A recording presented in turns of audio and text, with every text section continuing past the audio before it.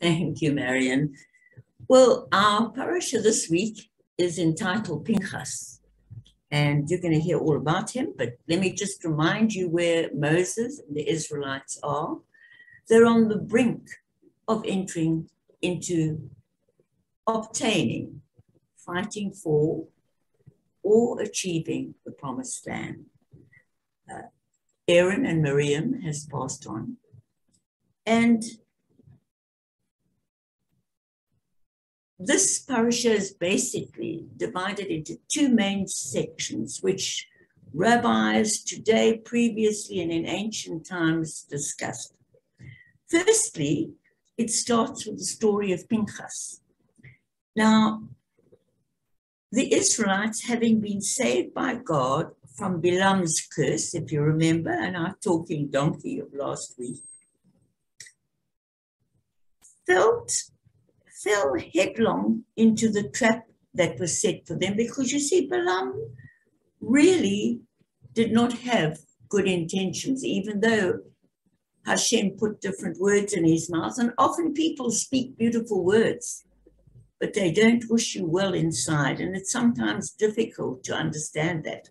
But what he did is, as soon as he could, he got the woman of the of, of, of the Midianite tribes to seduce the men. And a terrible plague happened. So let's see what it says here. The Israelites had been saved by God from Bilam's curses, fell headlong into the trap that Bilam had set for them. They began consorting with Midianite women and were soon worshipping other gods. God's anger burned. He ordered the death of the people the people's leaders, and a plague raged. 24,000 of the Israelites died. A leading Israelite, Zimri, brought a Midianite woman, Cozbi, and cohabitated, you know what that means, in full view to defy Moses and the people. It was the most brazen of acts. Pinchas, who was an Israelite leader himself of one of the tribes, took a spear and drove it through them both. They died and the plague stopped. Right. I'm going to be just spend a couple of minutes discussing this because this is very controversial. Was Pinchas a hero or was he a murderer? On the one hand, he saved countless lives. No more people died after the plague. Remember, this is this now is like an allegory. We've got to try and take a message from this. So there's great discussions on this. Uh, Rabbi Jonathan Sacks of blessed memory, like many, many rabbis, finds ways of saying that this was not breaking halacha because halacha says thou shalt not murder. And there's no exception to that.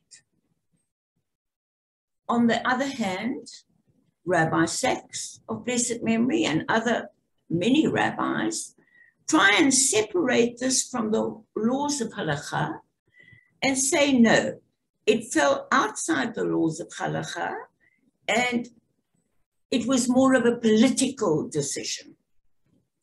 Uh, and they try and condone it like that. In Judaism, there is a sphere known as Mishpat Melech, which is not halakha laws, which go back to the Ten Commandments, but is the legal domain of the king. Who was the king at that time? It would have been Moses. But Moses did nothing. And Pinchas decided, right, he's going to take things into his own hands and kill these two people. And there's a lot of uh, disagreement about this, especially today. To kill anyone without first going through a, a process, a legal process, according to halakha, is wrong.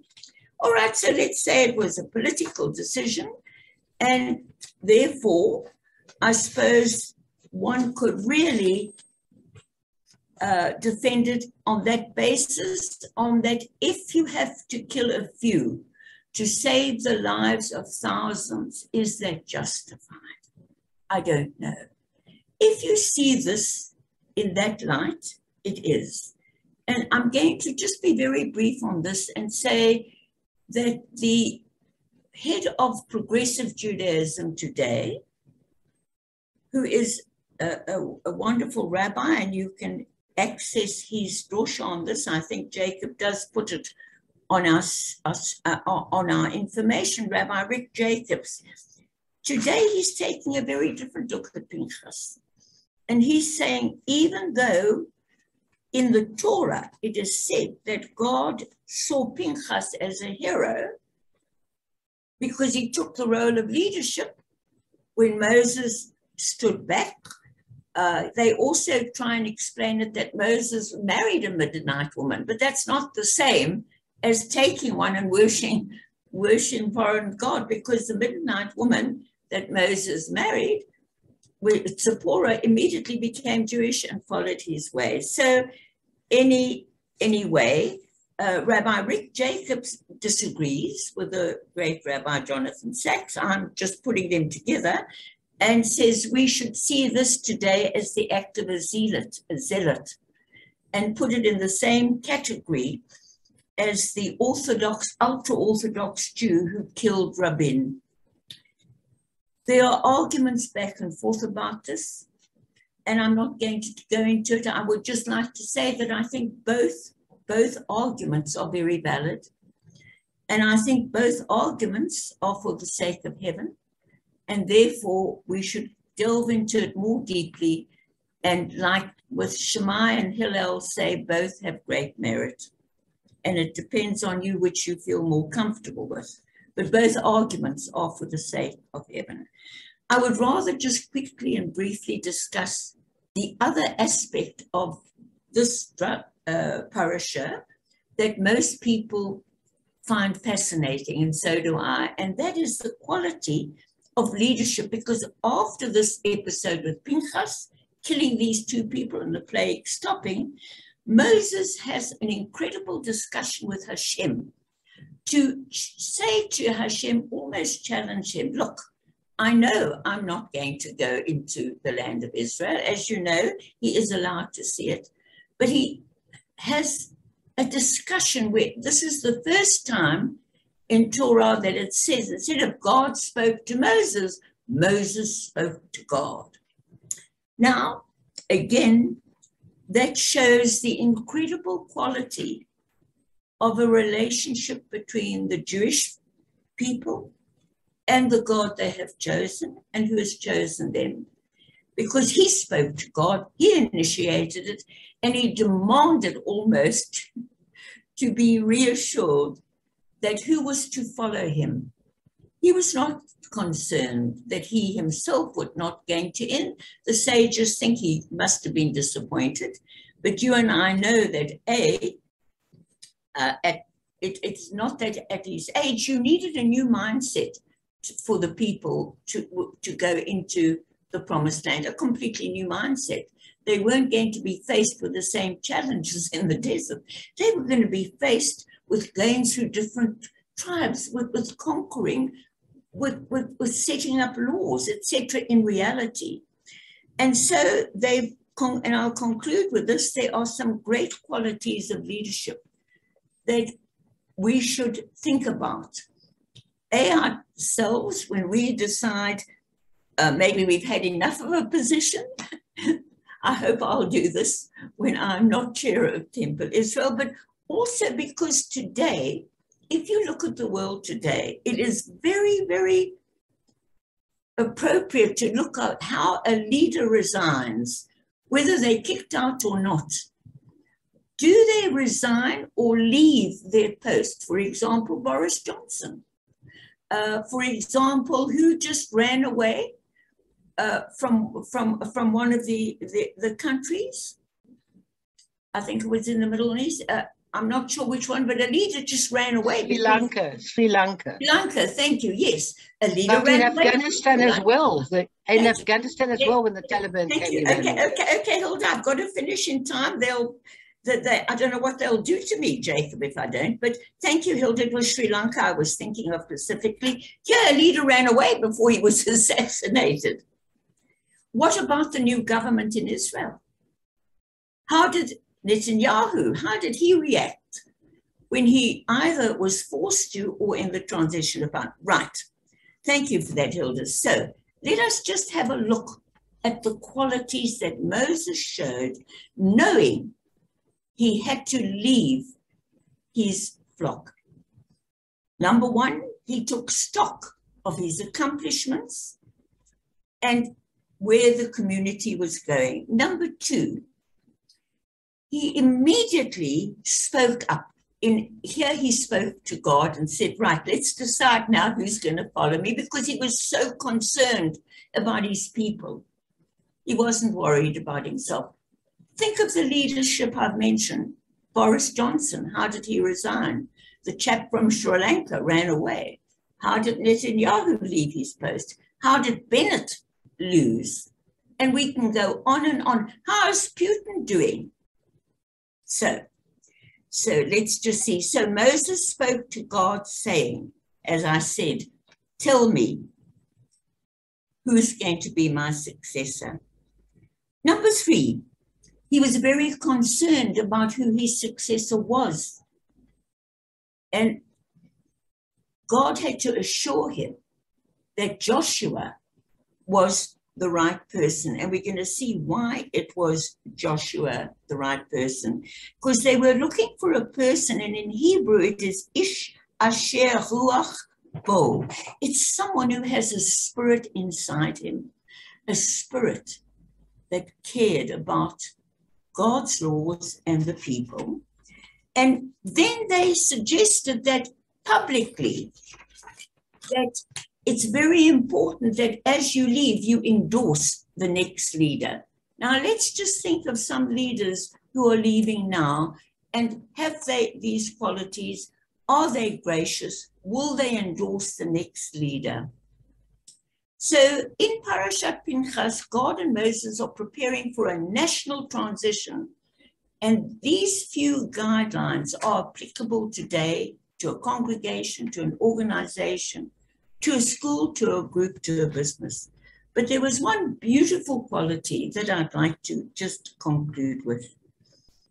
Uh, this is a quality particularly that uh, the late Jonathan Sacks, who, who defended the act of killing while other rabbis didn't, he said that the very important quality of Moses, and we all know this, is that he was described as a great man, Hakadol. At the same time, he was very humble. How can these two qualities really go together? Uh, very difficult to find them in today's leadership. And so he said, Rashi noted that Moses as well, and it tells you in the discussion of what type of leader should follow him, it, it's a leader who should be able to deal with all the different types of people in his in, in, in, in, in his congregation, in his tribe, in the Israelites, because all of us have completely different ideas. We have different strengths, we have different weaknesses, and a leader must be able to find the strength of each person in their team and bring that out and, and overlook perhaps the weaknesses. And I, that is very good. And the Rambam also said that this is probably the most difficult quality of leadership to be able to work in a nice way and not upset anyone and not point out their weaknesses, but rather look at their strengths and, and try to uh, hide their weaknesses uh, in a way. But the loveliest one is that where most people have interpreted Mo, uh, Ish, the name Ish was given the man Moses, Moshe Ish.